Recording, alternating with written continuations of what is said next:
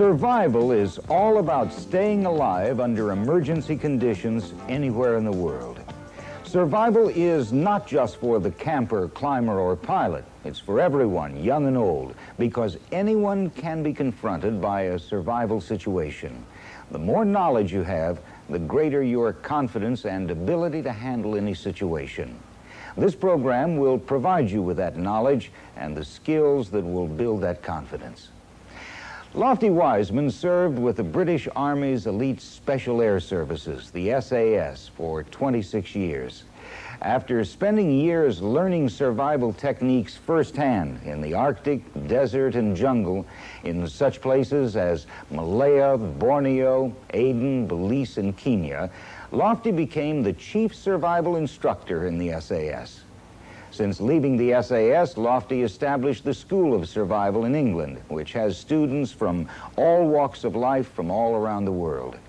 In 1986, Lofty's book, the SAS Survival Handbook, was published, and it became the number two bestseller in England.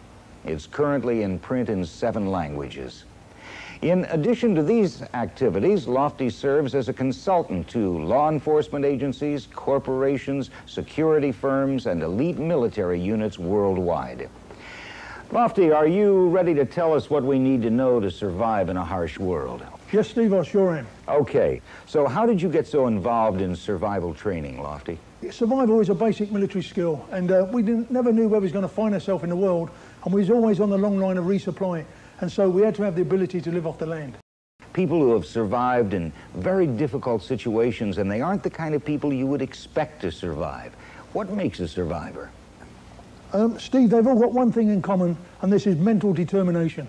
Um, survival is all about, okay, mental toughness. It's probably 80% of mental exercise and only 20% of physical exercise. Fitness must be important, though. Sure, the fitter you are, the better you can apply yourself. But remember, um, survival's for everyone, the young and the old, and it's no good, say, climbing a tree for a thousand calories of fruit and you've expended 2,000 calories to obtain them.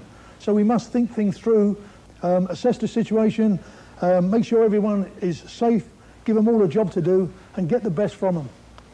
Okay, in order to do that, you've got a program. You've got a series of things you've got to think about. What do we have to think about to do that right? Okay, um, what we must learn about is food, fire, shelter, water, navigation, and medical. They're, they're the main elements of survival. Well, that's an awfully lot to think about. Uh, how do I know what the priorities are? What should I think about first? Okay, what we do, Steve, we put all these elements into an acronym called PLAN. Now, P stands for protection, L for location, A, acquisition, and N for navigation. All right, tell me a little more. What do you mean by protection? Okay, um, however we find ourselves in a survival situation, okay, be it an aircraft crashing and there's a likelihood of exploding fuel, we must have protection from further danger. So we evacuate the immediate area. Likewise, there might be an impending avalanche or a forest fire. We mustn't stay in its path. So protection from further danger and then protection from the elements.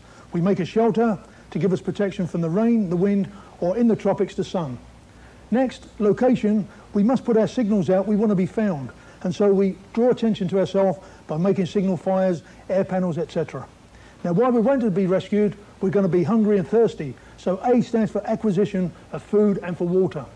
Then finally, navigation. Uh, once we've used all the local resources in the area, we've got to think about moving out to safety if the rescue don't come maybe within three weeks because we've used all the firewood, uh, all the animals have been eaten, all the plants have been gone, and so what we must do is think about moving because we're open to disease now. Um, however good we practice personal and camp hygiene, okay, we're going to soil the area, so now we think about moving. So navigation is the last thing we do. Three to four weeks, that's a long time. Uh, how long do you need to be prepared to survive? Yep, there's no time limit on survival. We must survive all our life. It's a full-time job, and so life, we survive until we die all right, I've got the right mental attitude, I know what's important, I've got a plan for putting that into effect. Is there anything I can take along with me to give me a little edge? Okay, Steve, we always say carry a survival tin. Now, this should be carried in a pocket at all times. Not when you go to the wild, but even in the town, whether you go ballroom dancing or walking a dog. A small tin like this gives you the ability to make or acquire food, fire, shelter water, navigation and medical. You'll see a lot of these items being used throughout the program. But basically, it's got a flint for lighting a fire, a small piece of candle, again for fire lighting, needle and thread for running repairs on clothing, a scalpel blade which you can skin, prepare game with, a flexible saw, some chemicals, um, medications, plasters for general abrasions, and it's a real bonus in a survival situation if you've got your tin with you. That's an awfully lot to find in a very small tin. Let's say I'm making a trip where the possibility of finding myself in a real emergency situation, a survival situation, is, is a little higher than the average trip. What else might I take along? Okay, Steve. Um, everyone should also carry, when they go to the wild, a survival pouch. Now, there's much more equipment on here. This is on the belt, carried at all times. It's got a flashlight, which we can use for signaling, and also we'll show you how to light a fire with this. And there's a container, which we can boil our water, cook our food in, with a stove, okay, for cooking, flares so we can be found, uh, air marker panels, and a variety of stuff. Again, a lot of this you'll be seeing used on the program. Okay, out of all of this equipment, what's the single most important piece of survival gear? Steve, you must have a knife. Okay, this is a small folding lock knife, and so it's got a positive lock on it. And again, we use this for making a shelter, preparing game, and lighting a fire. It's an essential part of our equipment, and we must look after it. That knife looks pretty small. Uh, what could I take along that'd be just, just a little bit more effective? Okay, Steve, this is a parang, and it's an excellent tool, not only for the jungle, but for anywhere in the world. Effectively, it's three tools in one. From here to here, it's very sharp, and we use this for skinning, preparing vegetables for cooking. From here to here, it's like the axe, and all the heavy work is done by cutting trees. And from here to here, again, it's very sharp, and we can use it for preparing skins for clothing, etc. Now, in the jungle, it gets very um, slick and sweaty, so we use the thong so it won't come out of the hand when we're using it.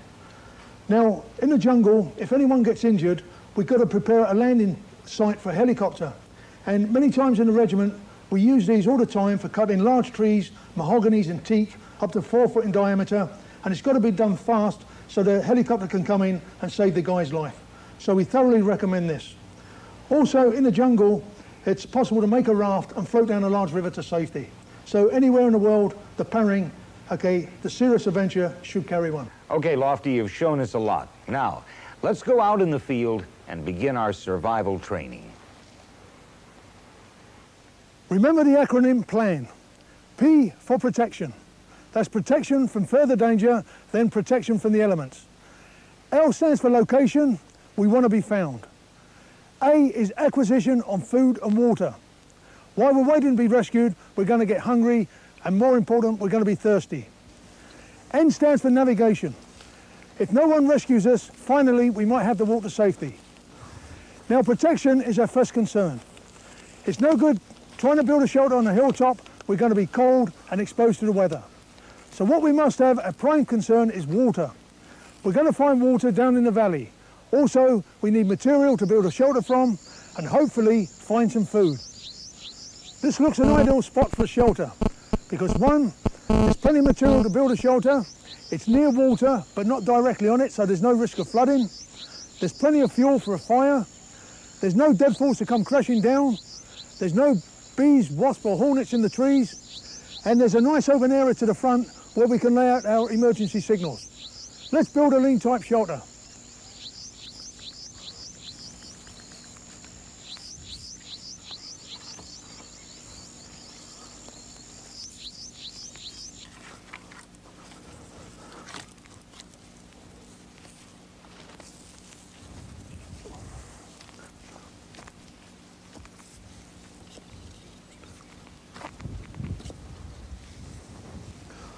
Okay, for a start, what I've done, I put a crossbar between two trees and about four foot high. And then a 45 degree angle, I put the back stakes in. I've dug them in the ground and leant them forward. I've now got to put poles all the way along here, 45 degree angles, about 18 inches apart.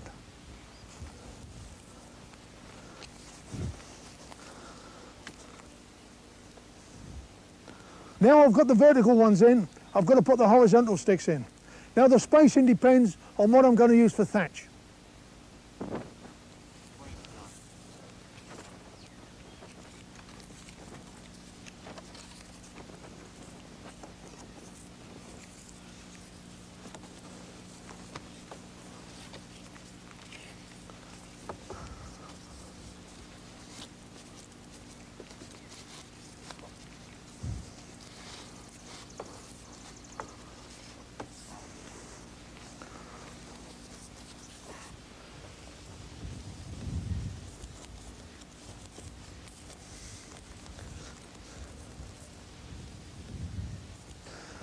Make sure it's strong.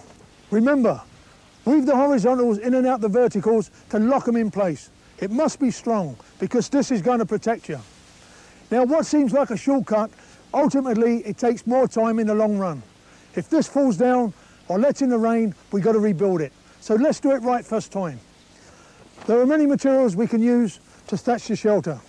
Grasses, rushes, even mud.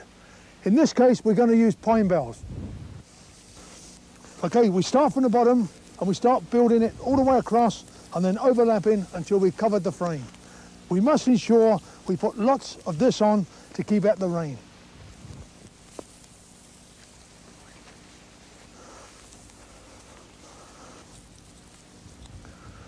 That's the back finished. Now we've ensured there's no holes in it and it's thick enough to repel any rain. The 45 degree angle is also very important. Now we can improve this further by filling in the sides.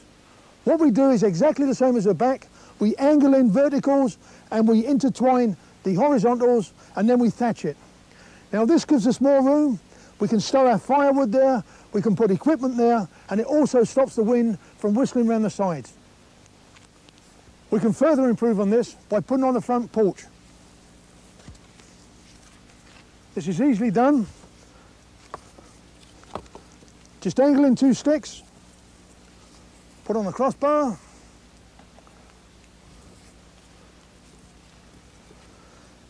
and what we're going to do now is bring the thatch over and this gives us more leg room. And also when we build a fire here we're going to get convection currents going right away to the back of the shelter. Now we've got paracord and we've got wire in the survival tin. But what we can do or what we can use is natural materials. This is just a vine and if we take it easy enough and this is green we can get a lashing. So I'm just going to lash this on here. Now using the vine it's important to keep it nice and tight and to overlap it several times and it would be quite sturdy. Now to finish up we just push it through between the two, take it round and this will lock it securely in position.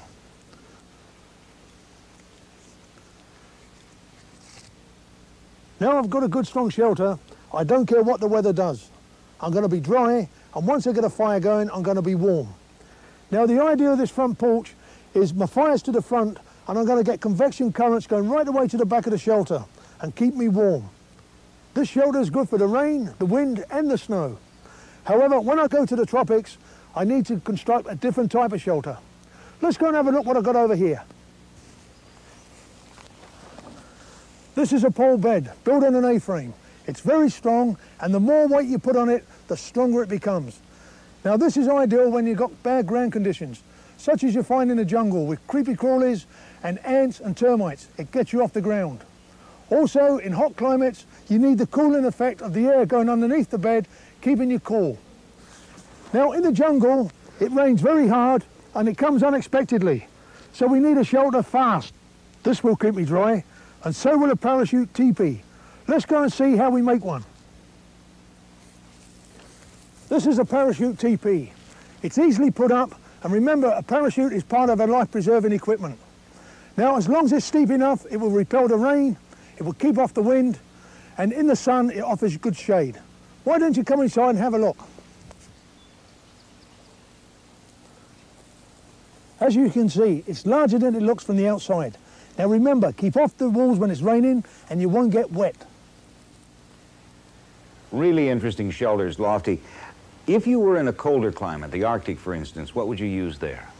Okay, in the Arctic we would use the snow. We can either dig down and make a snow hole or build up and make an igloo.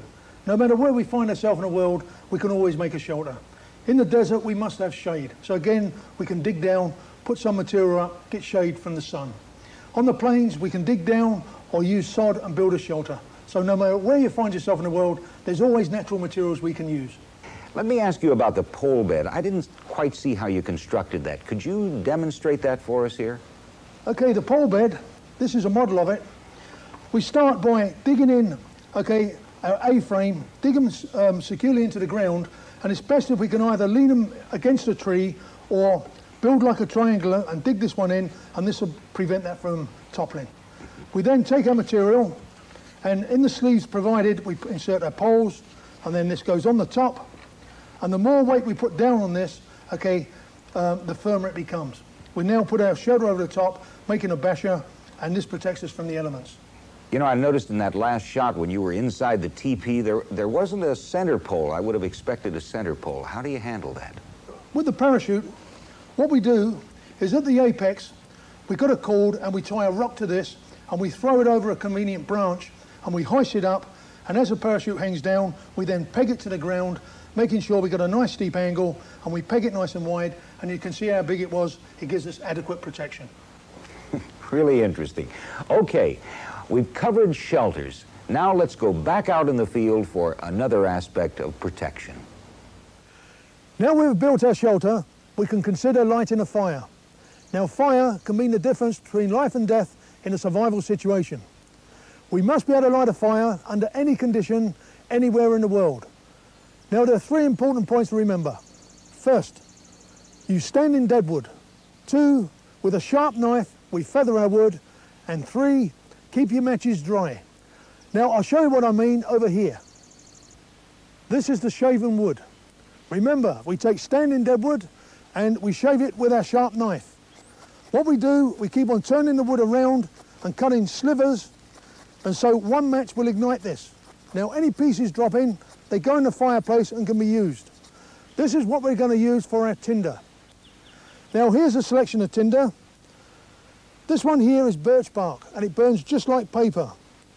This is burlap and as long as it's natural material, i.e. it's not nylon or plastic, this is sisal, hemp or jute, cotton bull, different uh, dried grasses and sedges, and shaven wood. Pine resin is an excellent way of lighting a fire. Just collect it and use it like a candle. Also, if you lose a filling, the resin can be used to plug the gap, and when it reaches the moisture of the mouth, solidifies and acts as a temporary filling. Remember, good tinder takes the merest of sparks to ignite. We've got our tinder arranged now and we need one match to ignite it. Let's have a look at some different types of matches. Don't carry matches like this as it's only a matter of time before they get wet either through sweat or from the rain. This is a waterproof container and it contains waterproof matches. However, these matches must be struck on a special surface and this is on the outside of the container. So although the matches are dry, if this gets wet, it renders the matches useless. This is the ideal container. Again, it's waterproof, but now it contains strike anywhere matches. It has also got a flint on the base of it, and we'll show you how this is used in a minute.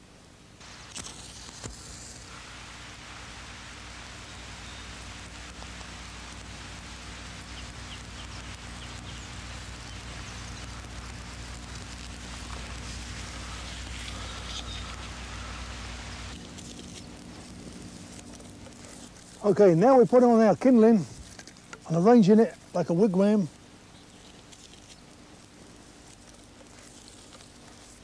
And it's as easy as that to light a fire.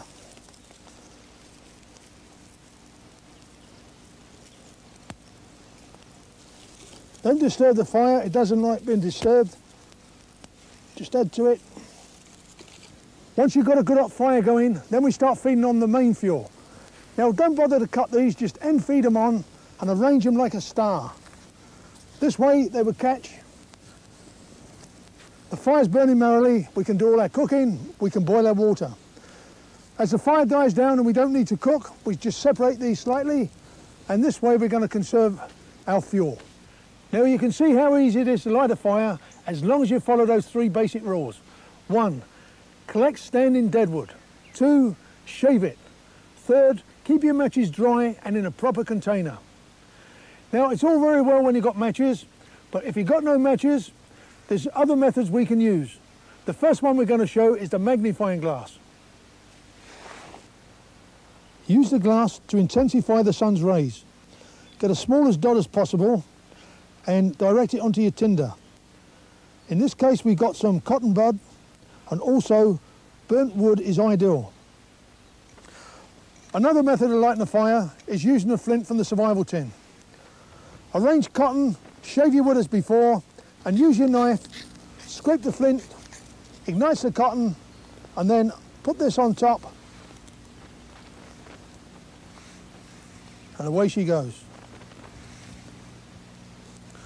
This is a magnesium block with a flint to the back. In difficult conditions, we can shave magnesium off the block, collect them on our tinder,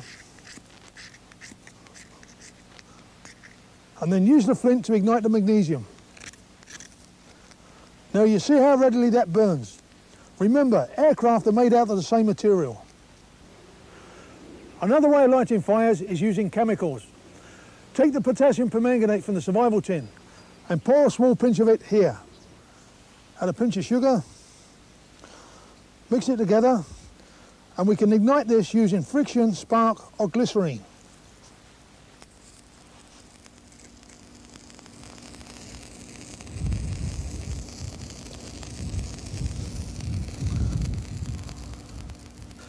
It's unlikely that you've got potassium chlorate with you like this. However, it is found in some throat tablets.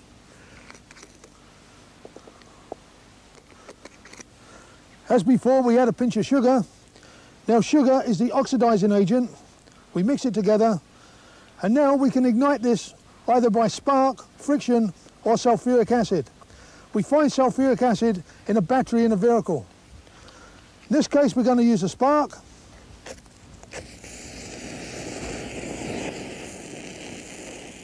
Now the last chemical we're going to look at is sodium chlorate. Now this is a common weed killer.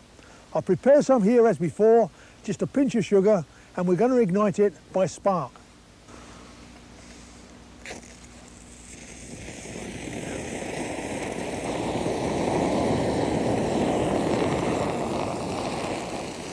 As you can see, this burns very fiercely and must be used with extreme caution. It must only be used as an expedient survival technique.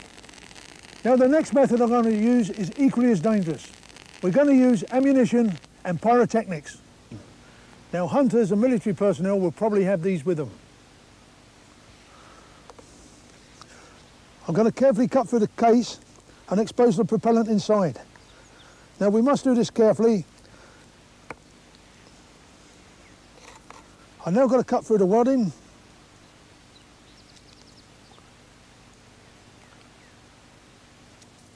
now I've exposed the powder. We tip some of it out, and this is what I'm going to ignite.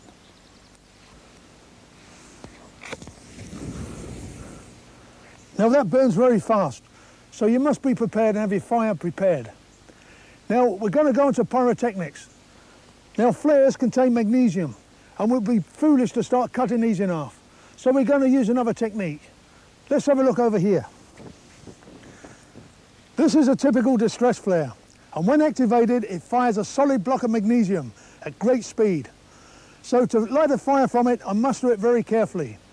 Here I prepared a fireplace with lots of energy absorbing material and then I'm going to fire the flare into this and it's going to ignite all the dry brush that I prepared there.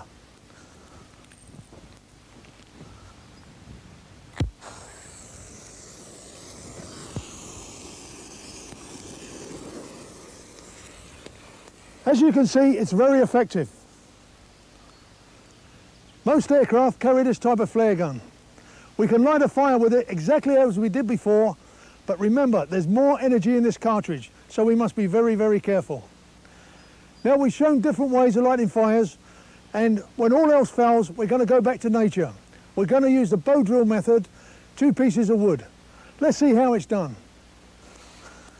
These are the components for the bow drill. We have the bow, cotton bandage, the baseboard, spindle and top board. What I've got to do first is to prepare the baseboard for the spindle. I take my knife and I make it flat. I make a slight indentation so the spindle can rotate in it.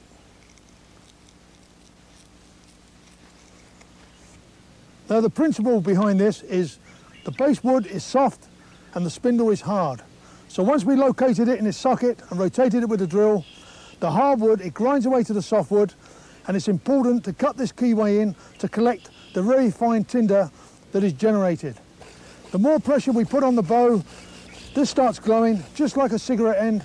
We transfer it to our tinder and then by blowing, we get a flame. Now as you can see, that took a lot of time and you must practice it. Let me give you a few more tips on lighting the fire. Remember, in the survival kit, we carry a candle. Now, when you light a match, always light your candle first, whether you're going to light a cigarette, your stove, or start a fire. And what we do, we use this under the fire. As soon as it starts going, we recover the candle, put it out, and we only use a small piece of it. Now we can take pine resin and make a candle. It burns exactly the same and is an excellent way of lighting the fire. Now a piece this size will burn for about 20 minutes. Knowing how to light a fire is not enough. We must practice it. We must be confident before we find ourselves in a survival situation that we can light a fire. Remember, now we've got a shelter, we've got a fire, we are protected. The next thing we've got to worry about is being found. Lofty, you made starting a fire with a flint and steel look so easy. How did you do that? Steve, it really is easy, even when wet. Okay, using a striker and a downward movement like so, have a go. I'm sure you do it. Think I can do this, huh? There's some cotton wool. Okay. Let's get the right side there. Let's do it. We'll try it again here. Yep. There you go. And there we go. And we got fire. It's as easy as that. Okay. Okay. Now, you said also not to cut into the magnesium flare. What was that about? Okay, this type of aerial flare, there's a rocket motor here and there's a magnesium block here. Now, cutting into it could cause friction and it could go off, causing serious injury and burns. Also, if you fire this on anything that's solid, it will bounce back, again causing injury. So when we lit the fire from it, we dug a hole, we lined it with energy absorbing material like dry leaves and grasses, put all our tinder at the back, prepared our fireplace, and when we fire this into it, we look away, the ball of magnesium goes out, ignites our tinder, it starts the fire. If it hits anything solid, it will bounce back and can cause serious injury. So never cut into your flare and prepare your fireplace carefully if you're going to use this to light a fire. Okay. You also mentioned starting a fire with a flashlight. Right. Okay, this is the flashlight we used. If you go back to the field, we'll show you how we done it. Okay. You can use your flashlight to start a fire. Now a useful tip is at the base of the flashlight, carry 4-0 steel wool and spare bulbs. Also keep the last battery around the wrong way. This way the torch won't go off accidentally in your pack. Turn it round to use it. And the way I'm going to light a fire using the torch is I remove the reflector and across the two terminals I'm going to short circuit the battery using the steel wool.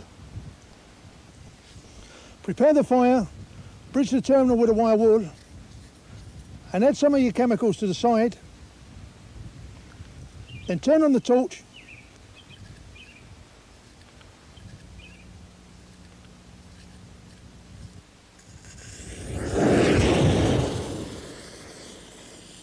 And that's how easy it is to light the fire.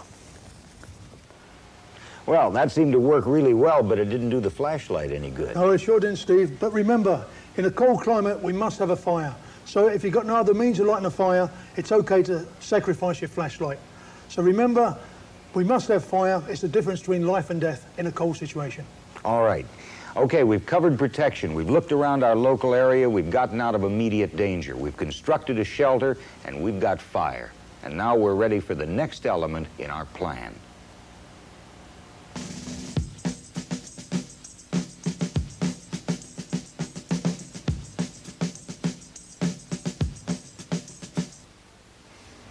In the first part of our outdoor survival program, Lofty Wiseman told us about a plan for survival. And we learned that protection is the first priority.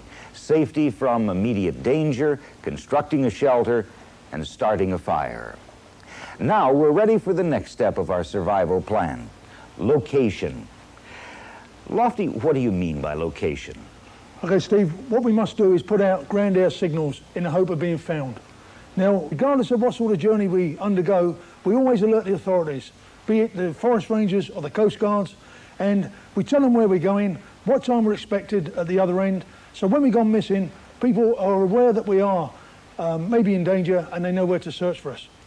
However, in a survival situation, it arises because of freak weather, instrument failure, and we find ourselves somewhere on the ground and we ain't got a clue where we are. So we must have the ability to draw attention to ourselves. Okay, draw attention to ourselves. What visual signals can we make? Okay, the, the best one is the fire triangle. If you look here, this is what it looks like. Once we've got protection, we now go on to location. This entails putting out ground-to-air panels so we can be found. Here we got the fire triangle. It's a tripod dug into the ground with a platform built on it. On the platform, we prepare our fire exactly as we did before. We feather our wood, but now we use pine resin, any inflammable material from the aircraft or the wreckage, like petrol, oil, lubricants, rubber tyres, upholstery. So just one match will ignite it. We cover the whole thing in fir branches. Now this keeps it dry. It's off the ground, so don't matter if it snows or floods, the fire is always dry. When we ignite this, we leave the green stuff on by day. This generates the smoke. Of a night, we take it off and we just have a bright flame. We've got spare wood underneath, and so all we're waiting for now is the aircraft to come and we ignite it. As you see, we've got three fires in a triangle. This is the international distress signal. All we've got to do now is cover this up and wait for aircraft. It seems to me there's a good chance that the aircraft will be long gone before you get your fires lit. Yeah, that's exactly right, Steve. However, the aircraft flies a particular pattern called a baseline search. What it does, it overlaps itself, covering the ground, flying up and down. So hopefully when the aircraft, okay, passes you, you hear it's approaching, you light your fires, and it's probably missed them. However, eventually it will turn around, fly downwind again, and when it passes you this time, it should pick up your signals. So it's passed your signals, it's made a downward leg on the way back. It sees your signals, it starts circling the area, indicating that it's seen you.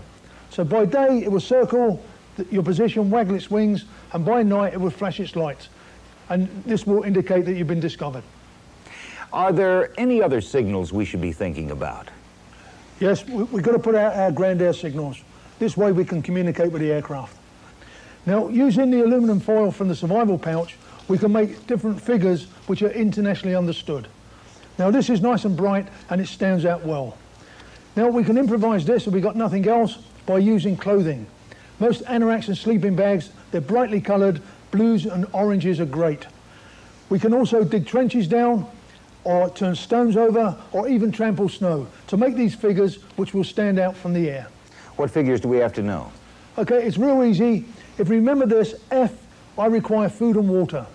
Most important is one bar, I need immediate assistance. And an aircraft will take a lot of risk to come down and see what's wrong. Okay, two L's means all is well. So now we see Phil, it's real easy to remember. Now the aircraft will drop a message. Now, initially the aircraft will be a fixed wing aircraft because it's got the range and duration. So it can't come down and land. So it will drop a message and it will say something like, do you need assistance? So you say yes, affirmative. It drop another message, do you know where you are? Negative. So if remember this, F-I-double-L, Y and N, affirmative, negative, that's all we need to know. Okay, that seems real simple. Now, are these panels going to attract an aircraft's attention, or is there a better way to do this? Um, most rescues have been affected by the use of a heliograph. And this is just a shiny reflective material. It can be improvised, hubcap, piece of glass from the wreckage, or the shiny underside of your survival tin. In this case, we've got a heliograph or a signal mirror, and we just pick up the sun's rays on our hand, direct them up to the aircraft, and looking through the sighting hole, we use it as a signal mirror. Okay. Under ideal conditions, it's good for 15 miles. I recall that we used a flare to start a fire, but their primary purpose is signaling. What kinds would you carry? Okay, um, we carry smoke, flares, and also para-illuminating flares. And what we got, we always use a contrasting colour. In this case, we're using yellow smoke, and as you see, it stands out real well against the trees. So don't use green if you're in thick vegetation. Always a contrast. So any colour smoke is good as long as it stands out. All right, the smoke signal is good for the daytime. What do we do at night? Okay, Steve, we use our flare, and we must be careful. We must make sure there's no obstruction above where we're going to fire it, like we're underneath a tree, so we must be in the open. And also when we fire it, keep it at arm's length and look away. Sometimes you do get particles coming back. Now this particular flare goes up to 600 feet, it's very bright and it can be seen from a, a long distance away. And if we've got the, the, the, space and, and the room, we take an even bigger flare. Sure. Here you see a para-illuminating flare, and what it does, exactly the same. You must make sure there's no overhead obstruction. You fire it to the air, and it probably goes up to a thousand feet, and now it's suspended under a parachute, so it stays in the air for a long time, and so you've got more chance of being seen. Lofty, what about the EPIRBs, emergency radio beacons? These are small battery-operated transmitters that can be received by aircraft and, and now even by satellites. They're very lightweight, half a pound or so. Uh, are these a good idea? Yeah, they sure are. If you've got the room to take them, you never got enough kit in an emergency situation. Yeah, they're excellent. All right. Now we've completed the second part of our plan for survival, location. We've constructed a fire triangle, learned how to communicate with aircraft with signal panels, heliograph, and flares. Next in our outdoor survival program, we'll talk about acquisition, getting what we need so we can survive until rescue comes. Water sustains life. If you follow any water course in the world, eventually it will lead you to safety. Now, 90% of all sickness in a survival situation is caused by drinking bad water. So what we must do is sterilise it. There are two ways of sterilising water. One is by boiling, the second one is by chemicals. You can take your sterilising tablets from the survival kit and we can use these to sterilise water. However, it's always best first to filter your water. I've got a filter here, let's fill it up before we sterilise.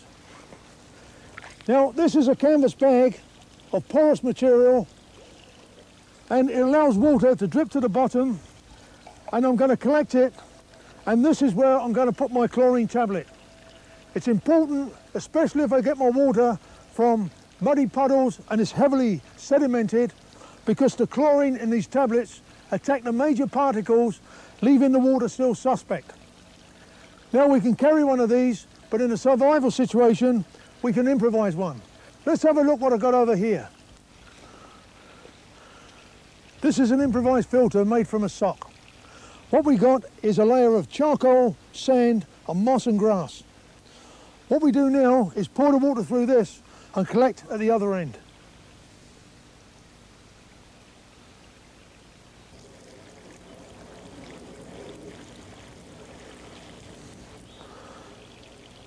As the water is filtering through, we collect it at the bottom.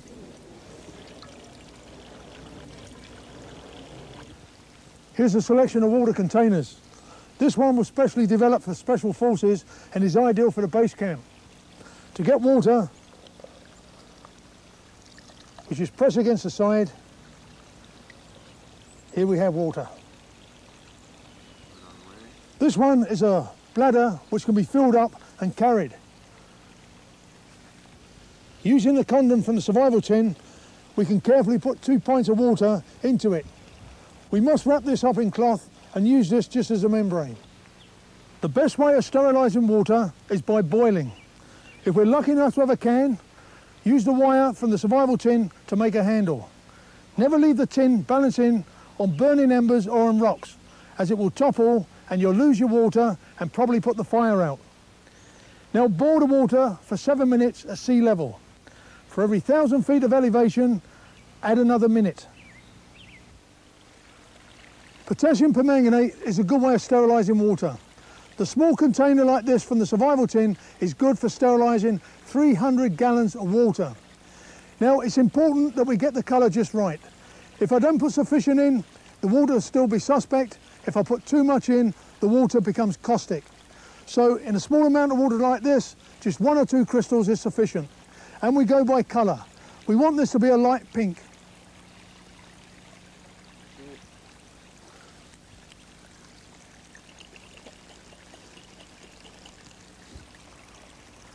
That's just about the right colour.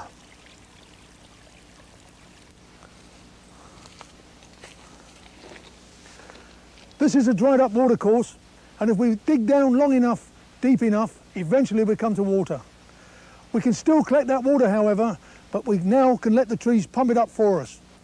Take a plastic bag and place it on the leaf of any green tree, and the tree acts as a pump. It takes the water from the ground, and we get evaporation in the plastic bag, and all we've got to do is collect it without all the manual labour of digging for it. This is a solar still that we use in semi-arid and desert conditions.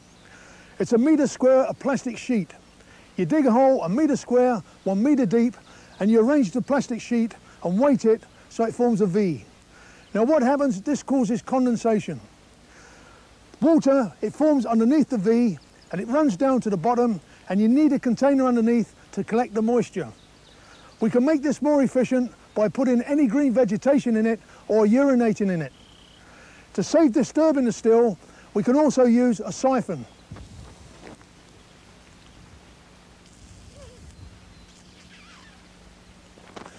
Now with a siphon, you can take the water exactly when you need it. There's no need to purify the water, it's absolutely pure. Now, as you can see in the still, it's also a good insect trap. Let's have a look underneath the still and see how much water we have collected. Under ideal conditions, this is good for a quarter water. We've got probably a pint here spending six hours, so we're doing okay. Now, don't make these any bigger. The metre square is the optimum. If you need more water, carry more sheets of polythene and dig more solar stills.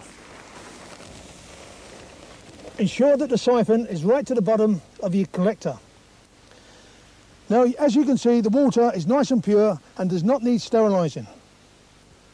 Remember, if you're going to urinate in here, make sure you do it before you put in the collecting pot.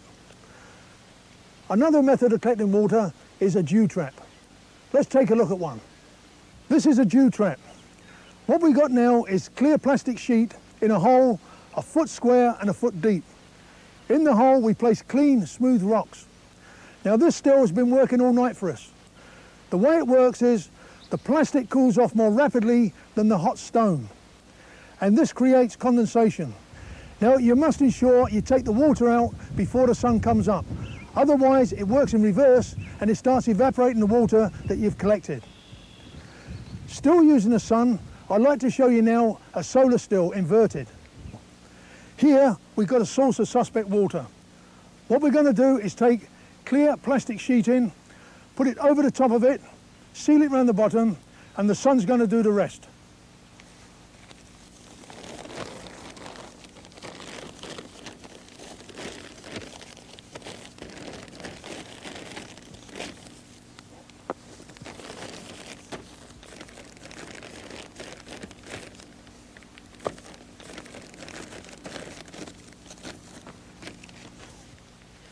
With all these solar stills, we must use clear plastic sheeting, not the dark variety. In this case, I've put a pebble in the centre of my plastic sheet, I've tied it around to form an anchor point, and I've suspended it from a convenient branch. I've then formed a tent over the suspect water, and then I've carefully rolled the polythene inside, and this is going to trap the water as it evaporates inside my tent. I've sealed it all the way around the edge, and we leave this now and the warmer the sun is, the better this works. Okay, Lofty, I understand how the solar still works, but tell me again how you get the water out. Okay, we carefully wrap the polythene underneath, and when we want the water, what we do, we start lifting it out from the side carefully and tilting it to the lowest part of the still, and in time, we turn the still right upside down, and the water's all collected in the polythene curl at the lowest point. After the water is filtered, like you did in the sock, is the water safe to drink at that point?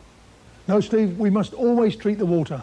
Regardless of water source or how clear and sparkling the water looks, the filter only takes out the suspended matter, it don't take out the bacteria. So we must always treat what we got in our container, either by boiling or by chemicals. Okay, boiling water's okay if you have a metal container, but what if you don't have one? Okay, Steve, Imagine this as a sheet of birch bark. We can fold this carefully. Okay, fold in the sides, fold at the ends, make the creases to the rear, fold it over, do the same this end. What we made now is a coolamon. Now, if we put this, okay, on ashes filled with water, what we got, we got moisture inside, indirect heat, and the water would boil in this without rupturing the vessel. Very clever. Lofty, why don't you sum up the important things we need to remember about water? Okay, Steve. Every living thing on Earth is dependent on water. So what we say is we go three minutes without air, three days without water, and three weeks without food with no ill effects. So regardless of water source, we must always treat it. Now, if we've not got any water, we just don't eat because it takes all our body fluids to assimilate the food. And fats and proteins are the worst. And also, appetite will suffer. So if we've got no water, we don't eat. However, if we've got water, a plentiful supply of good water, we can eat just about anything. And in tight situations, it's been recorded that people have eaten their leather boots and they got protein from it. But you must have lots of water to digest it and for the body to assimilate the food. Okay, let's hope we don't have to eat our boots. You've mentioned food. Now, what kinds of food are we going to find in the wild? Okay, Steve, in the wild there's a variety of foods and it starts with the nutritional ladder. Right at the bottom we got plants. Now it's just a matter of recognition and picking. They're not going to run away. And then we build up fungi, slightly more nutritional value than plants. Insects, probably the first living thing an injured person can get are insects. Above insects come fish. If you're lucky enough to be, to be by water, we've got the fish in the water. And then finally, game. Pound for pound, we can't beat meat. Of all the plants available, some are edible, some may even be poisonous. How can we tell the difference? Okay, with plants, and it's only plants, we've got an edibility test. This is the edibility test. We pick a fresh specimen and first we use the senses. Feel it, it might be prickly or hairy and this will indicate what it is. Next, we crush it and we smell it. There may be a familiar smell like mint or garlic. This will also indicate what it is. We then take a small portion and we place it underneath the tongue and this is where the flavour buds are. Now if there's any discomfort like a burning or stinging sensation, discard it, you've got a poisonous plant. There are two poisons in the plant kingdom and they're both accompanied by the same sign, i.e. a burning, stinging sensation. Now one is water soluble, one is not. So with nettles, when we boil them, we destroy the toxin and they're safe to eat. If we do the same with rhubarb leaves, we concentrate the poison. Now if there's no discomfort, we chew the same piece and we put all the juice around the mouth and we spit it out. We wait a further five minutes and again, any discomfort, discard the test. Finally, we swallow the same specimen and now we wait five hours. If there's no ill effect, we can say that plant is safe to eat. However, it's a long drawn out process and it's so much easier to identify some of the common plants. So let's go and have a look and see what we can find. The bulrush is an excellent source of nourishment. Now in late summer, it's got the familiar seed spike on the top and we can eat all parts of this. What we're looking for here is the rootstock.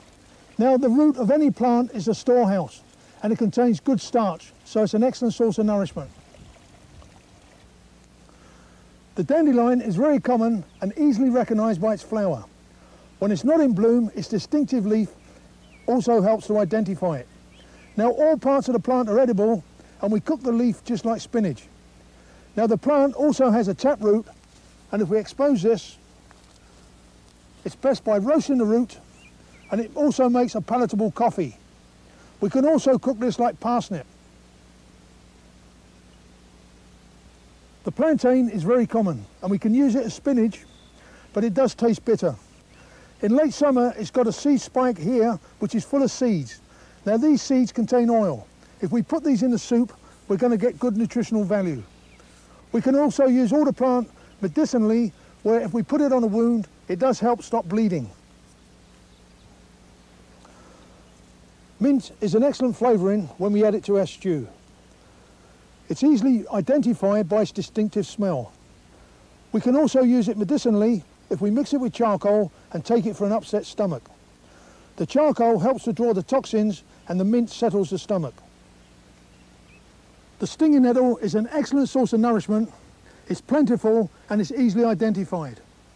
If you brush against it, you get stung, and the best way to remedy that is take a pinch of the plant crush it and rub it on the stung part. Now, the stinging sensation is caused by formic acid, and as soon as we boil this, that's eliminated. Now, the nettle contains vitamins and minerals, and we make a nettle tea by taking a handful of the leaf, boil it, and if we drink this, it's full of iron and it's good pick-me-up. The dried stems are very tough and can be used as twine. Also, if we want to dye our clothing green, we just put it in with a selection of leaf, boil it all together, and we finish up with an olive drab material. You can make a useful tea using pine needles. Pine needles contain vitamins, especially vitamin C.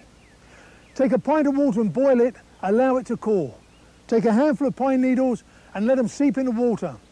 Now don't boil the needles in the water, otherwise you'll destroy the vitamin content. Now when you're feeling weak and lethargic, try some pine needle tea because it acts as a stimulant and a tonic. It's a pick-me-up. Also, while you're by the edge of a wood, have a look around, you might find some useful fungi. Fungi come above plants on a nutritional ladder. Pound for pound, they got more nourishment. However, with plants, we've got an edibility test. With fungi, it must be one of positive recognition. If you're not sure, leave them alone. Now, fungi is just a plant without chlorophyll, so consequently, it must feed on dead or decaying matter. Now, the big drawback with fungi is some are deadly. Just here, we've got the worst case, the Amanita phalloides or the death cap. Now, this has got the following characteristics. It's got a volva, it's got a ring, it's got white gills. Now the season for this is summer, late autumn. You never find it in pastures or meadows, only in or around woodlands. Now there's three bad things about this fungi. One, it smells of raw potatoes, so it's a familiar smell. Secondly, it tastes sweet.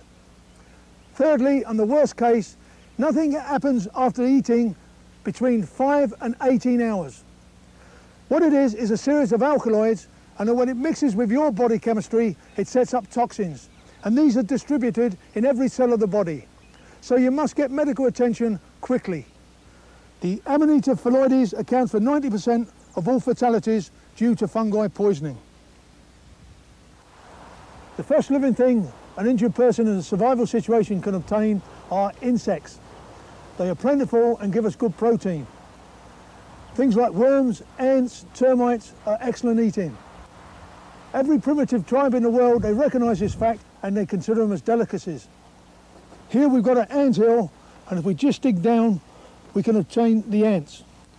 What we do is get this, put it in water, and let them float to the top, skim them off, then we boil them, and ants contain formic acid, just like nettles, and boiling gets rid of this toxin. Lofty, you told us that we need to boil nettles to destroy formic acid.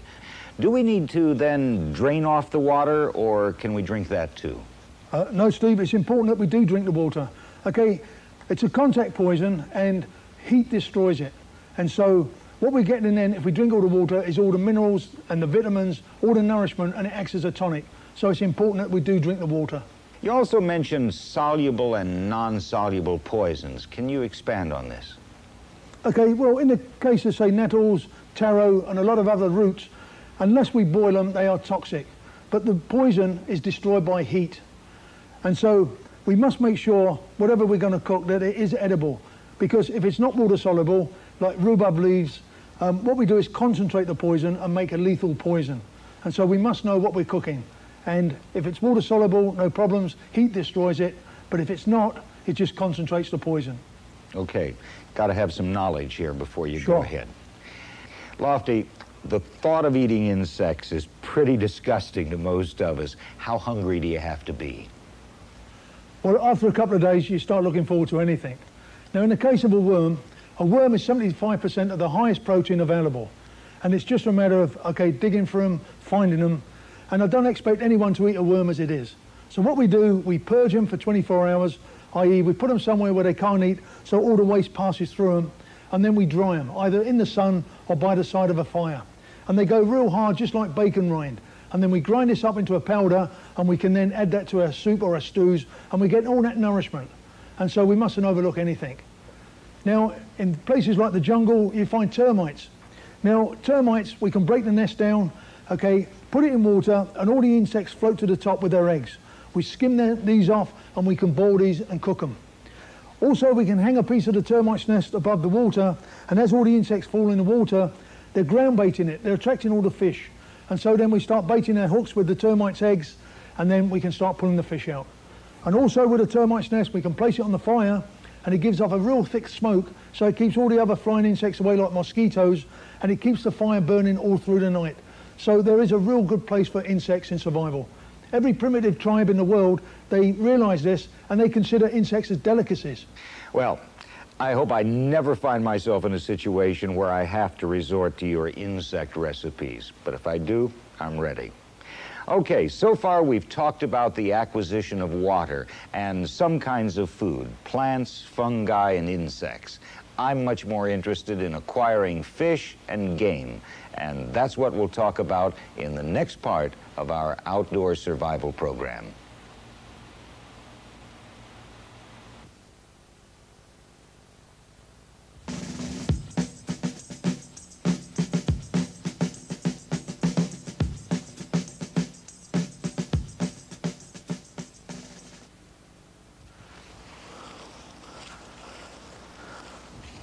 This looks a great spot for fishing. Remember fish is fourth on the nutritional ladder. We've already had plants, fungi and insects and fish are an excellent source of food. Now unlike game, we do not have to mask our scent and fish are quite easy to catch. The methods we're going to use are nightline and a gill net. Now for the nightline we must have bait and the best bait are worms. Let's see if we can find some worms. To find worms, we want to come away from the water's edge because worms like well-drained soil. To find worms, we want to look under rocks, stumps, or even dig down in good earth. This looks a likely spot. Let's have a check under the rocks.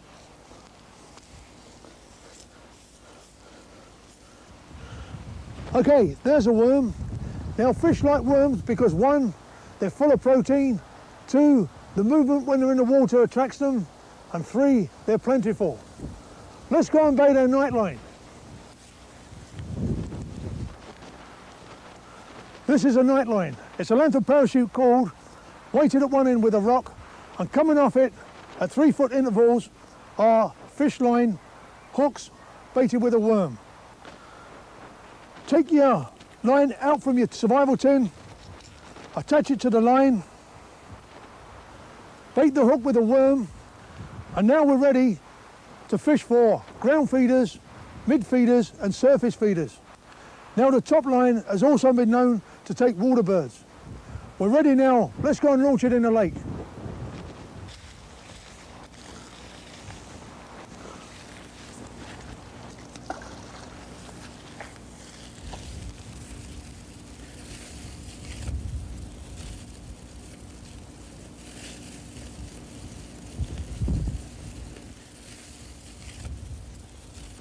Make sure it's securely anchored because we're going to get a lot of fish on this line.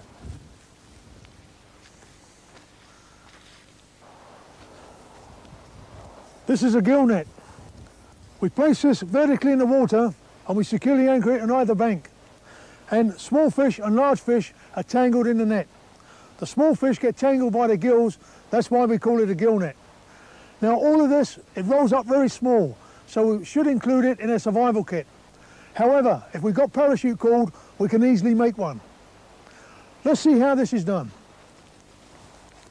This is nylon parachute cord and it's made up of many strands, each one very strong. We can separate these easily just by pulling them out. Now it's a good habit to make your bootlaces a parachute cord. Double up your strand and we use a knot called the prusik knot. It goes over once, over twice and goes through itself and then we pull it tight. We want to aim for an inch and a half between knots, so we space them out on the top cord, pull them together and draw them tight.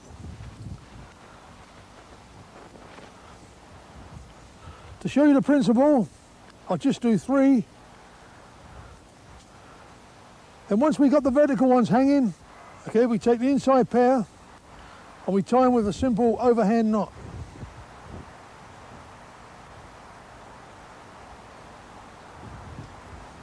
What we want to try and do is get about inch and a half between knots. Then we take the next pair, overhand knot.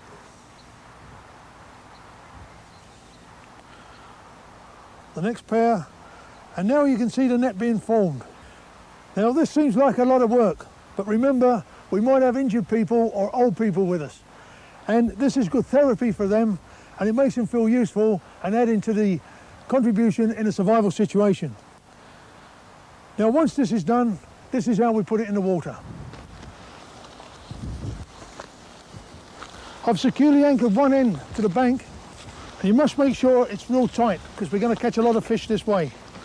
I then carefully pick the net up and I'm going to walk around the edge of the bay, paying the net out as I go. When I reach the other side, I securely anchor this end to the bank. I must ensure the net is straight down in the water, that way we're going to catch lots of fish.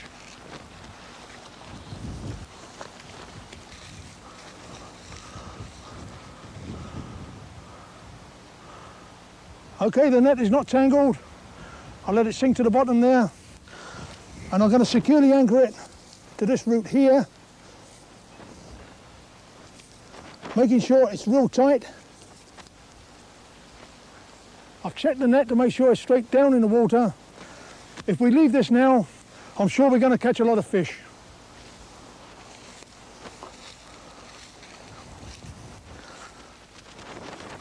It's easy to make a spear, and this is good for night fishing. If you've got a flashlight, you shine it on the surface of the water, and this will attract fish. Then they can be speared. You can also take the beta light from your survival tin, place this in shallow water, and again, fish will be attracted and can be speared. If the moon is out, any shiny object like aluminum foil will also attract fish. Now the spear is easily made. Just take a forked stick add a third prong and sharpen each prong and fire harden them. This makes them more efficient. Make sure it is strongly constructed.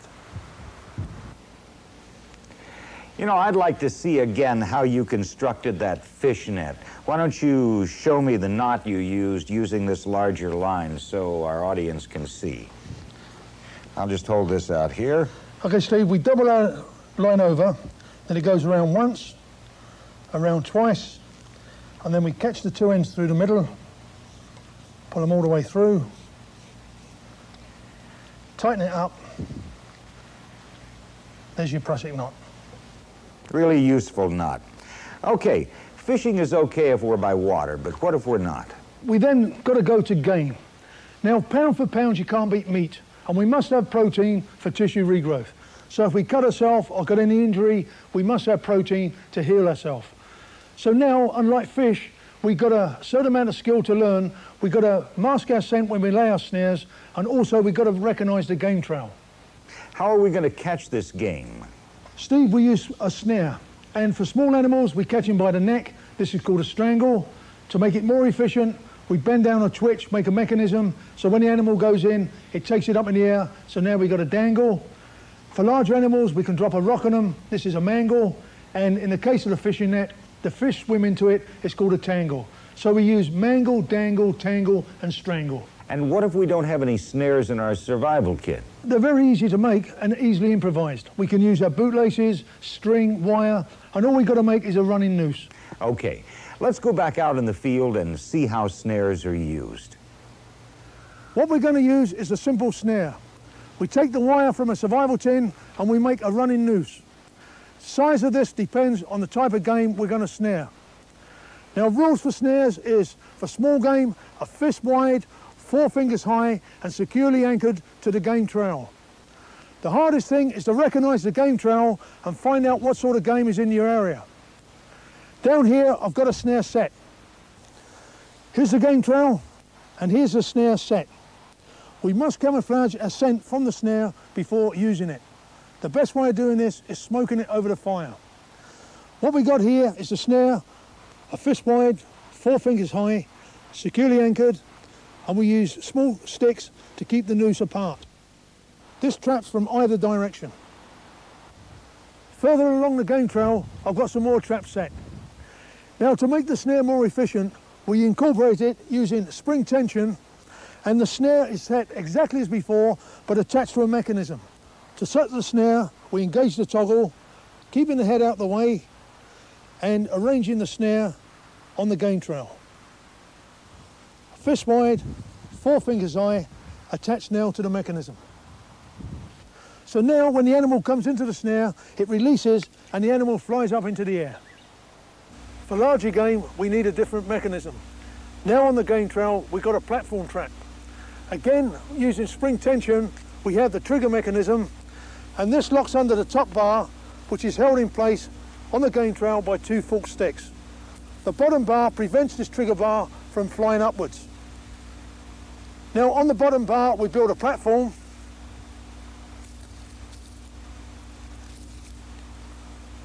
and on this we spread some grass and now we use a foot snare. This can be nice and big so now when the animal treads on the snare it releases a mechanism, down it goes, flies up, taking the animal by the leg. This is a variation of the platform trap and we still use the same mechanism. But now what stops the trigger bar from flying upwards is this small twig that is anchored at one end by a small stake and it's restraining the trigger bar from flying upwards. There's a small stake this end. We now, across the game trail, put a foot snare. That's laid down. The animal comes along and it steads on this bar, down it goes and up flies the animal. And finally, we have a leg break snare. Now the traps we got set have been working for us. We got something to bait the snares with, making life easier. In this case, we got the trigger bar. It goes underneath here and is locked in position by the bait bar. This restrains it from going forward. And underneath the bait, we put the leg noose. So when the animal comes to feed, he stands here, he takes the bait, calls into the release, and securely anchoring the animal by the leg. Lofty, some of those traps look pretty dangerous. You wouldn't want one of your party to walk into one, would you? No, you surely wouldn't. Remember, they are for survival only.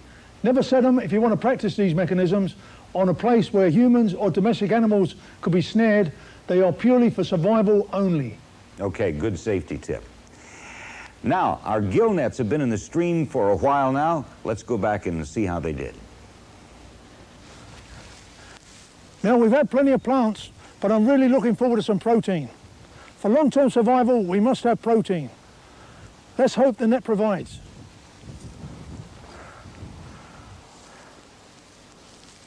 Yes, we got a good snack in the net.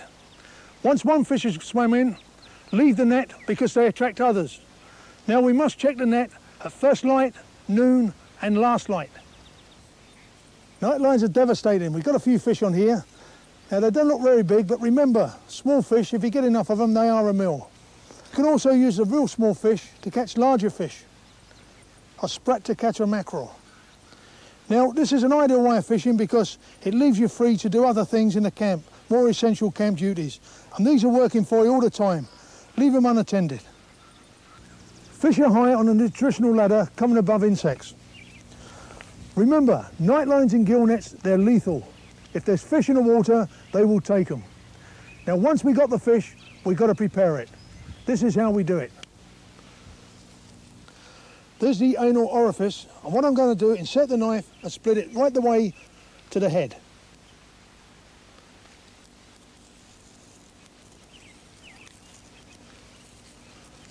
Open up the fish. It's important to look in the stomach of the fish and see what it's been feeding on. This gives us an indication of what to bait our night lines with.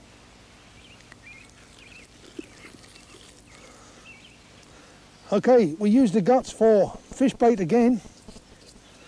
And also when we prepare the fish, there's no need to remove the scales. The way we're going to cook the fish, it's best to leave the scales on.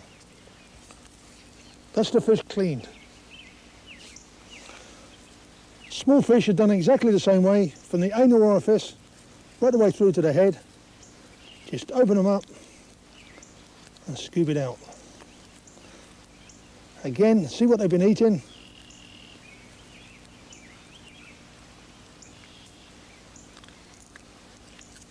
That's the fish cleaned. Now fish under two inches long, there's no need to clean them. While we're by the river, we might even find ducks. Let's see how we prepare them. There are two ways we can prepare the bird. We can start by plucking it, and this is long and tedious, or we can skin it. So all we need to do is take a pinch of the skin and cut here. Insert the hands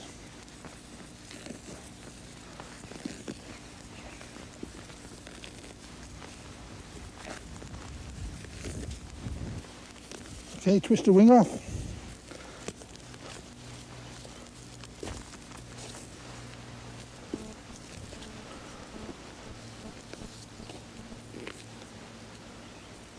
Put it all the way down the leg.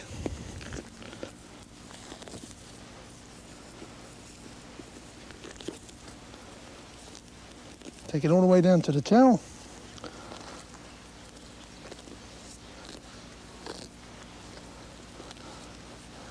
Twist the tail. And you've got a cut here. Just on the back. Pardon me. Okay, expose the neck. And you need your knife again here.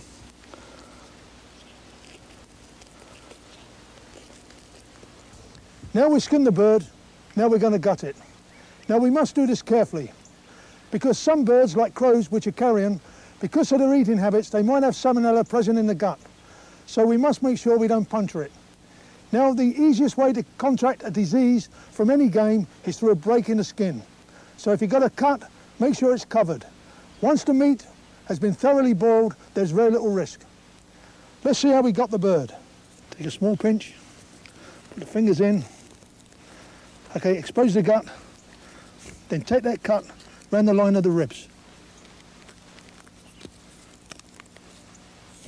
Here we see the liver, and in here is the bar bladder. That small organ there, that's what we want to nip out first.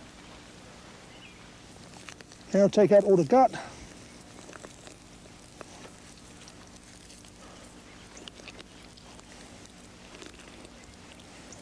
Make sure it's clean all the way to the back and again all the way to the front.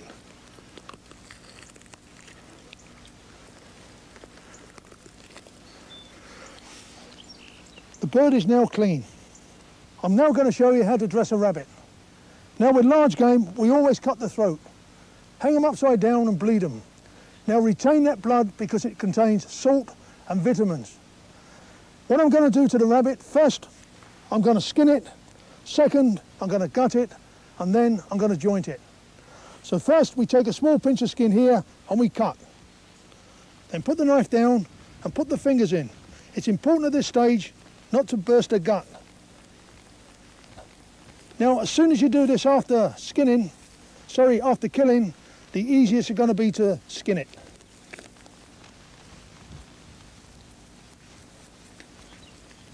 All the way around the back.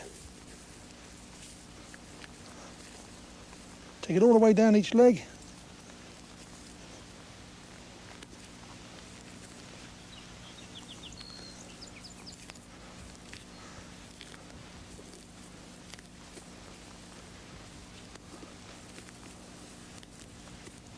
Okay, pull it all the way to the neck and take out the front legs.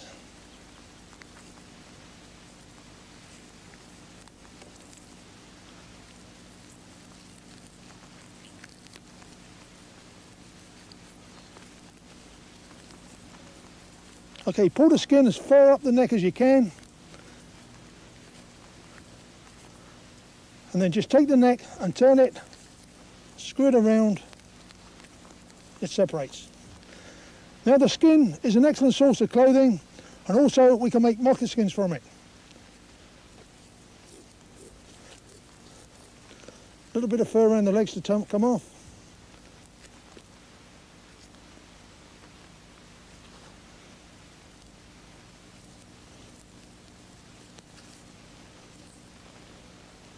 Okay, once we got the skin off, the next step is we're going to gut it. Now take a small pinch of the gut, just a small incision, fingers in, and we pull it far and aft and just let it all hang out. Now kidneys, we're going to retain the kidneys, and more important, we want the liver. There's a liver, nice and healthy. Remember, it's a natural food. We've recovered the kidneys and the liver, but the rest of the guts we're going to use to bait our traps with. Now to finish cleaning, I've got to do the chest cavity and also make sure it's clean right the way through to the back. Okay, there's the chest cavity through this membrane.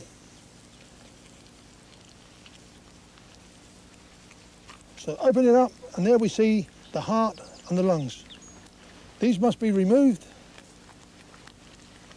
And again, we're going to use these to bait our traps with. Okay, most important is the rear end. Now this tube has got to come out, and if you get hold of the towel, just pull it through, and that should draw out the lower intestine, making sure we're clean all the way through to the back.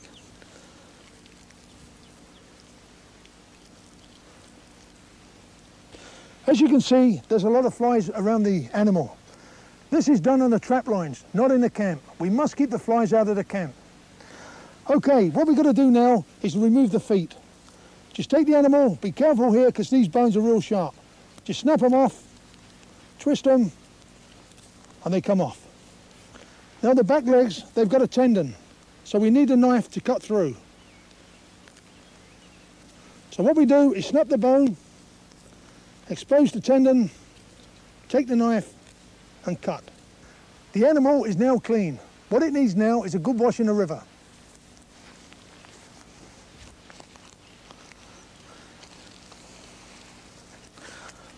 I'm going to prepare this bird using a scalpel blade from the survival tin. Now to joint it, first I'm going to remove the legs. Just cut through here, expose the bone, go around the bone,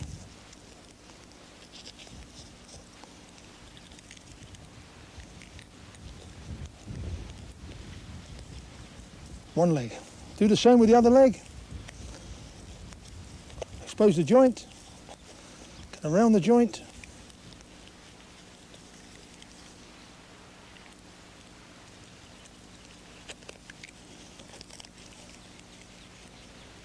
All the way around the back.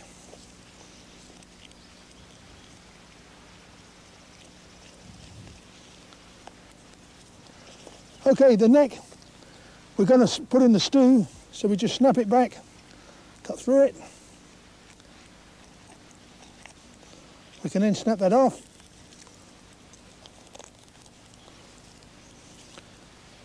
Whatever we got, we always cut it in half. We eat our immediate needs and the rest we preserve. Now the best way of preserving meat is by jerky. This is thin strips of lean meat, no fat on at all, and we smoke it. Cut thin strips, no more than a quarter.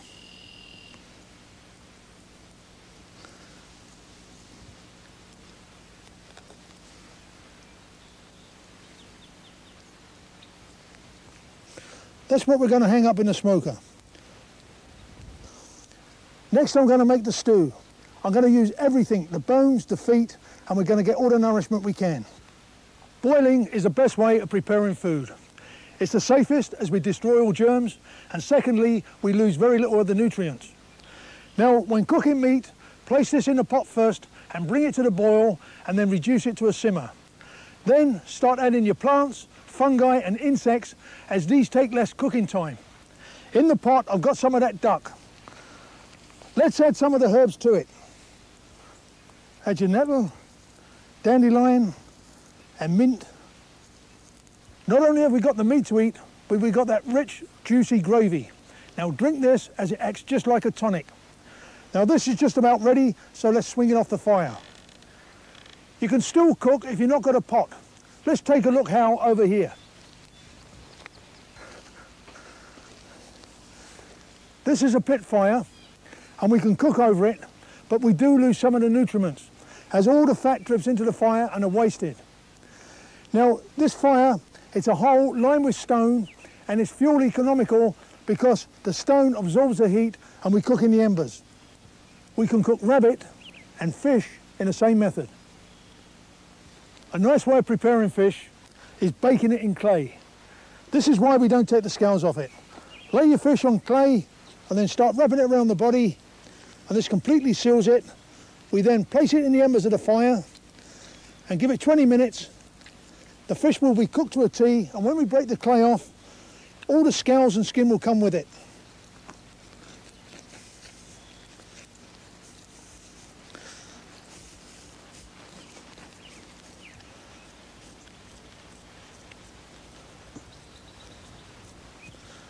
Now she's ready for the embers.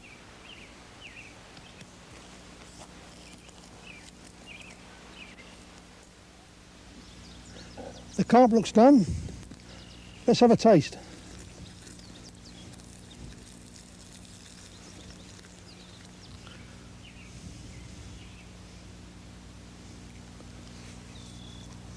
That really is nice.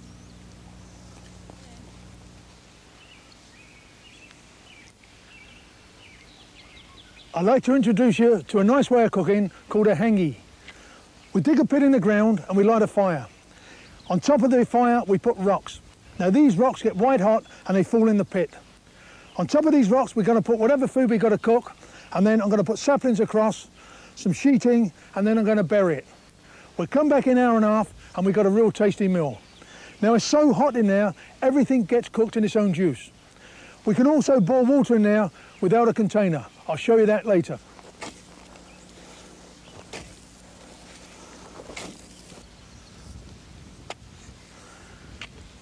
Now we sealed the oven, it's acting like a giant pressure cooker. Now I mentioned we can boil water. This is a rubber bag and you fill it with water, place this on the stone with your food. In an hour and a half, this water will boil. Now because we got indirect heat with no flame and there's water on the inside, this will not burst. So hour and a half, the water will be safe to drink. This is a smoke teepee. This is how we make our jerky. Remember, we take lean strips of meat, they must be fat-free, about a quarter inch thick and as long as you wish. We can also cure fish inside it. We skewer the meat on wire, hang it across the centre, and we have a good hot fire at the bottom, and on top of this we put hardwood leaves, oak being the best. This generates lots and lots of smoke and it dries the meat and it coats it with smoke and bacteria can no longer penetrate the meat. Now we must do this for about 18 hours.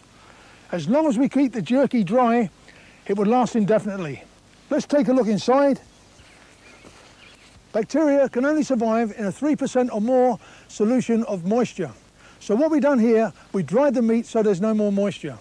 We've also coated the meat with a film of smoke which contains chemicals and this prevents bacteria from penetrating it. So as long as we keep that jerky dry, it will last us indefinitely. Now, if I start with a pound of meat and we got 500 calories, by the time I've finished, I've got half a pound of meat, but I've still got 500 calories. So it's an excellent survival food. Let's take a look what the hangi's doing. Okay, start by removing the dirt from the middle, otherwise it'll all collapse in. Put it well out the way,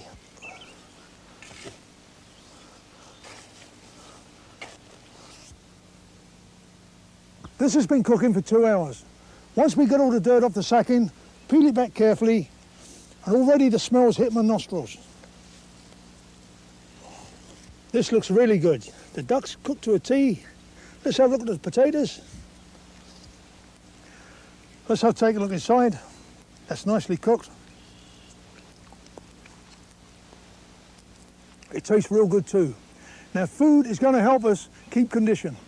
And because we started preserving food, if ever we got to walk to safety, we got some food to take with us. During this last field segment, you mentioned when preparing the rabbit that we should bleed the animal and save the blood. What do we do with the blood collected? Okay, it's always important, Steve, to save the blood because it's one of the few sources of salt that can be obtained in a survival situation. And so what we do, okay, bleed the animal by cutting the throat, collecting the blood, and allowing it to congeal and it goes just like a hard cake. Now by putting this in our soups and stews, we're getting all the vitamins, minerals and most important salt from the blood and it's going to help us maintain our health. Is it important to limit activity in order to reduce our caloric intake? Yes, it sure is, Steve. We must be calorie conscious. Calories are like dollar bills. We've got to keep them in our wallet. So if I was just to lie on the floor and do nothing, I would use something like 800 calories. This is my basic rate of metabolism.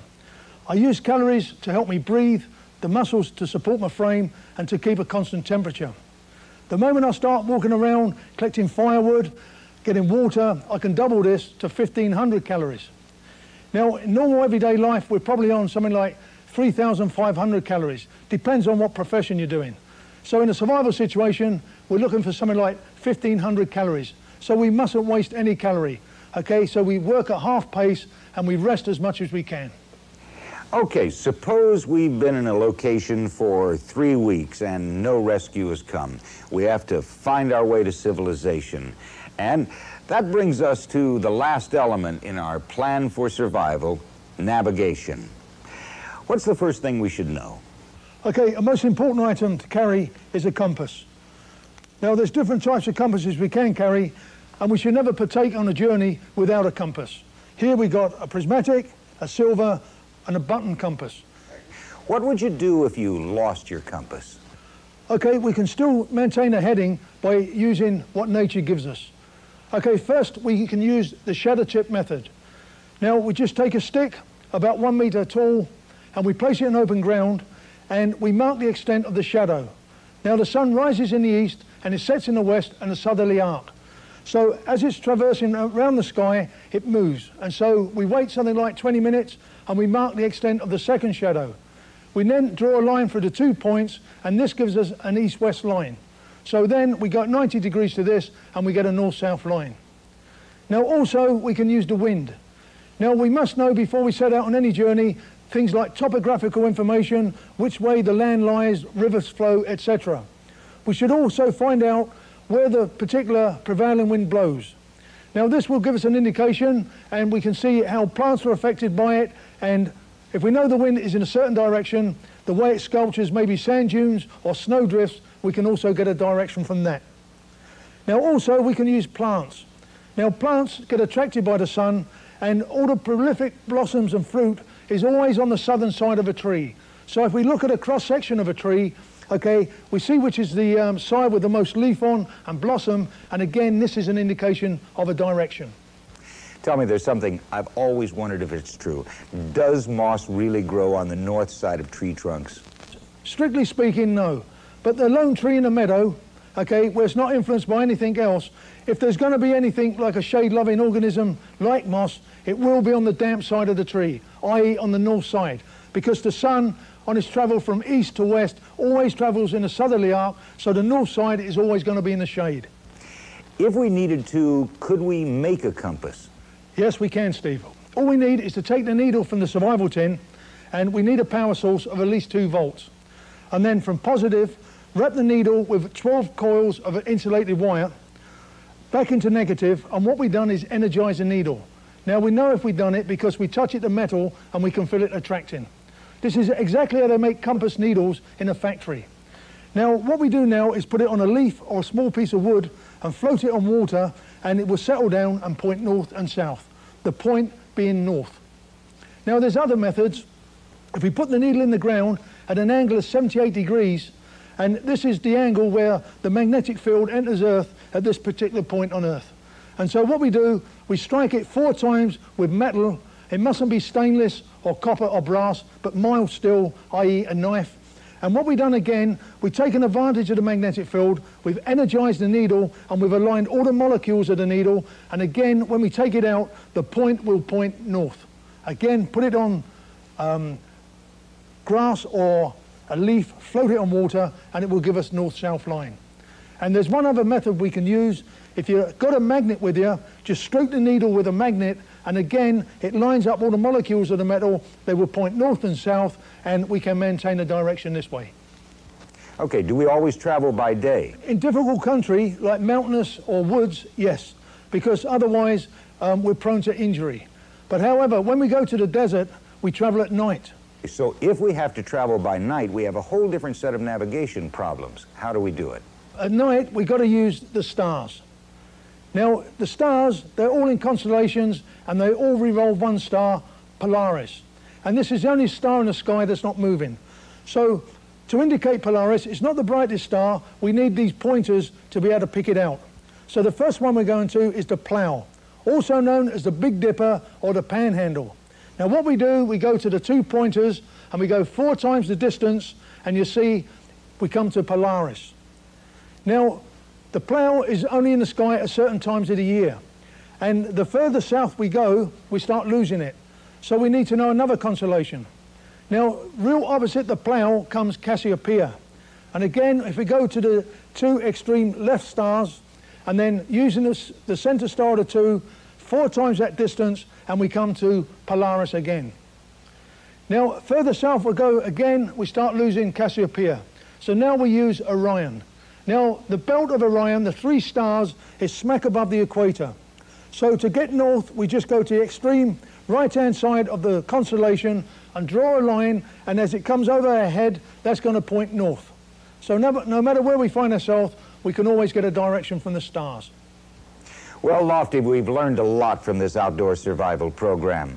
We know we have to have a plan for survival. P for protection, L for location, A for acquisition, and N for navigation. I wouldn't want to be in a real survival situation without the skills you've taught us today. Do you have any final thoughts for us? You now have the benefit of my knowledge that has taken me a lifetime of training and experience to acquire. But don't think just watching this video makes you a survivor.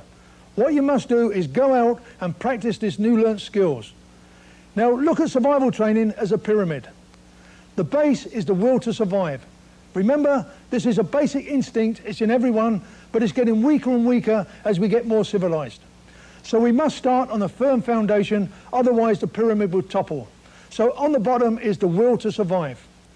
Now above this we add all the knowledge. Now there's a lot of knowledge in this video and this is what we must practice. Remember, survival is a practical subject, so we must turn this knowledge into skills. Practice what you're seeing. It's no good just talking about it. We must know how to light a fire, how to procure food, and all the other skills shown. Now, to top off the pyramid comes kit. Remember, we must be prepared. So we always carry our survival tin and a knife, and if the conditions dictate, we carry a parang. So we must be prepared. Now, with all the kit and the knowledge, we are now ready to tackle anything, and we can now survive anywhere in the world. Before we leave, could you show us just what sort of equipment you carry for survival? This is my survival kit, Steve, and remember, it's the peak of the pyramid. Let's remove these compasses. Okay, starting with the button compass, what else have we got in the tin? Heliograph for attracting attention. We can also use the shiny surface of the inside of the lid. The flint and steel for fire lighting, what you've already seen. Brass wire from where we make our snares and also the pot handle or any time we need a, a firm fixing. This is the Betalight and again it gives us 10 years of continuous light. We can read our maps with it, we can make notes at night using this. The scalpel blade, it's very sharp and you saw this being used to make jerky from the duck.